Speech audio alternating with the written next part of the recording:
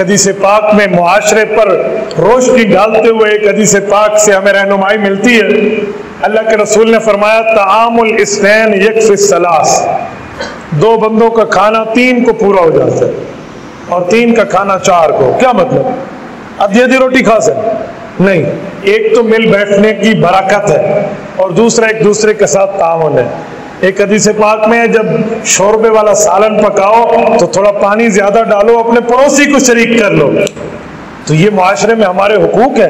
हमें भी इसमें हिस्सा डालना चाहिए कि भाई, क्या हो रहा है? इस बारे में मसलन मौलाना के दिल में ये बात सूझी।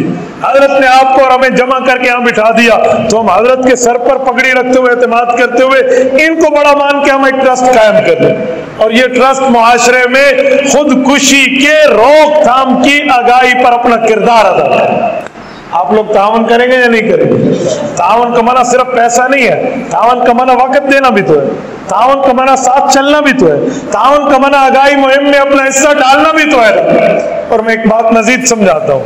जब हम एक दूसरे के साथ तावन करेंगे और मुआशरे से गलती खत्म करने के लिए निकलेंगे तो ये न देखना कि हमने ठीक कितनों को किया।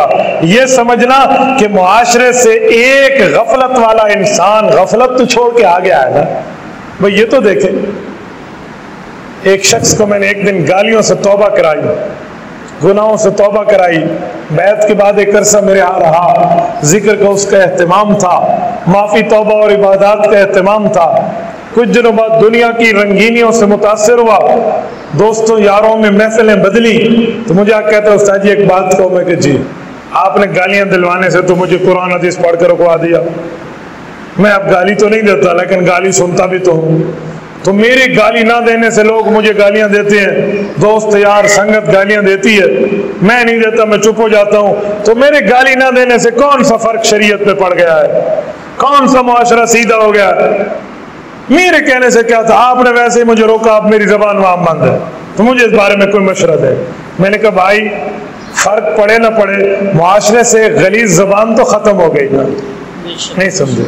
यार मुआशरे से गलत कार जबान तो रुक गई ना। कहते हाँ रुक गई है। मैंने कहा फिर यही बेहतर। है याद रखें अंधेरा खत्म करने का तरीका ये नहीं है कि शोर मचाओ अंधेरा है अंधेरा है अंधेरा है खत्म कर दो उजाला लाओ उजाला। जी नहीं अपने हिस्से का चिराग जलाते जाओ।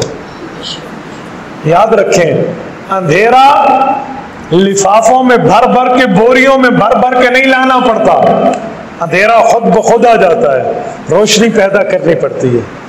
मेहनतें पैदा करनी पड़ती है। कोशिश लगन तक गुदो बेरा पैदा करनी पड़ती है। तो याद रखें, शैतानियत खुद ब खुद आएगी। रहमानियत के लिए आपको मेहनत करनी होगी। आपको तगोदो करनी होगी। तो इस मामले में बंदा आगे चले। यकीन मानिए, मेरी अपनी जाती ज़िंदगी में कई बार ऐसा मामला पेश हुआ कि कोई लोग मायूस हैं अपनी ज़िंदगी से तो उन्हें हमने समझाया कि हमारा अल्लाह हमारे साथ कितना प्यार करता है। ये है ये है, ये और तो खुद को जान खत्म करने पे बैठे तो बंदे वापस आ जाते हैं, बंदे रुक जाते हैं। तो आप अपना किरदार अदा करें।